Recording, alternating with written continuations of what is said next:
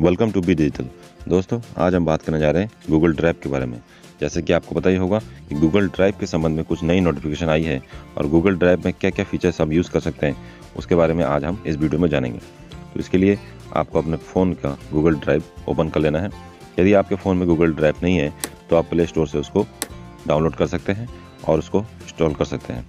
तो जैसे ही आप गूगल ड्राइव ओपन करते हैं तो इस तरीके का कुछ इंटरफेस आता है और इसमें जो मेन सेटिंग्स है, जैसे प्लस का जो आइकन है, उस प्लस के आइकन में जैसे हम क्लिक करते हैं तो यहाँ से हम इसको फोल्डर बना सकते हैं। जैसे आपको कोई नया फोल्डर बनाना है तो आप यहाँ पे कुछ भी यहाँ नाम लिख दीजिए, और यहाँ क्रिएट ऑप्शन में क्लिक कर दीजिए तो आपका जो फोल्डर है, वो न्यू नाम से ये बन चुका है थर्ड ऑप्शन में आपको दिख रहा है। दूसरा जो ऑप्शन है अपलोड यदि आपको कोई फ़ोटो पीडीएफ वगैरह कुछ भी अपलोड करना है, चाहे वो फ़ोन की गैलरी में हो, चाहे कहीं भी हो तो आप उसको अपलोड कर सकते हैं।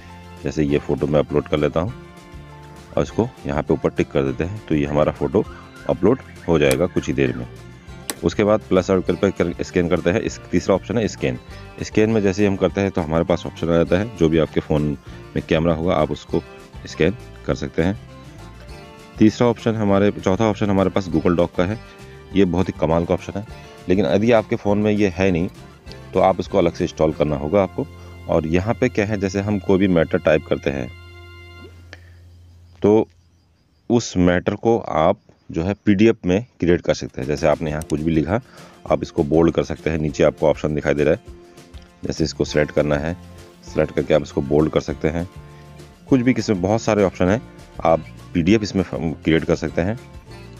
ठीक है दोस्तों? तो यहाँ पे आपको टिक करना है। टिक करने के बाद फिर आप इस जो फ़ाइल है इस, इसको आप पीडीएफ फॉर्म में कैसे सेव करेंगे, ऊपर जो तीन डॉट आपको दिखाई दे रहा है, वहाँ पर क्लिक करना है और क्लिक करने के बाद यहाँ पे एक ऑप्शन है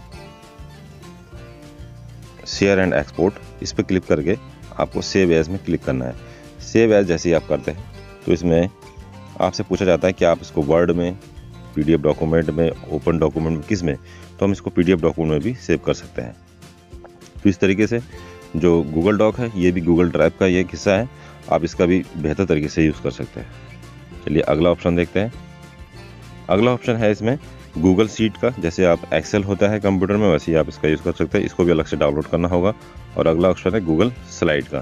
तो ये सब ऑप्शन आप यूज़ कर सकते हैं एक ही ऐप में। अब हम बात करते हैं कि स्टोरेज जो नया एक गूगल की ओर से अपडेट आया है कि स्टोरेज में क्या है कि आपको पंद्रह जी का जो डाटा है, वो आप फ्री में यूज़ कर सकते हो। और उसके बाद यदि आप स्टोर कर तो आपको उसको पैसा देना पड़ेगा। जैसे आप देख सकते हैं इसमें कि पंद्रह जी बी का हम फ्री फ्री यूज़ कर सकते हैं बारह जी बी यूज़ कर रखें अब यहाँ पे देखिए रिकमेंडेड हंड्रेड जी बी यदि आप हंड्रेड जी बी तक कोई भी डाटा आपको ऑनलाइन सेव करना है गूगल ड्राइव पे तो एक सौ तीस रुपये आपको पर मंथ देना पड़ेगा और एनुअली आपको तेरह सौ रुपये देना पड़ेगा। और यदि आप दो सौ जी बी तक डाटा इसमें शेयर कर, सेव करना चाहते हैं तो आपको दो सौ दस रुपये देना पड़ेगा। तो इस तरीके से गूगल ड्राइव ने एक तर, एक तरीके से जो फ्री है वो फ्री वाला पंद्रह जी तक ही रखा है। उसके बाद आपको पेमेंट करना पड़ेगा स्टोरेज का। तो ये बहुत ही एक बढ़िया स्टोरेज का ऑनलाइन स्टोर करने का एक माध्यम है जिसके जिसकी वजह से हम जो है अपने फ़ोन की जो भी इम्पोर्टेंट चीज़ें होती है उसको इसमें रख सकते हैं। तो दोस्तों ये था छोटा सा वीडियो और उम्मीद करता हूँ आपको ये वीडियो अच्छा लगा हो होगा। और वीडियो को लाइक शेयर और सब्सक्राइब ज़रूर कर दीजिएगा। वीडियो को अंत तक देखने के लिए बहुत बहुत धन्यवाद।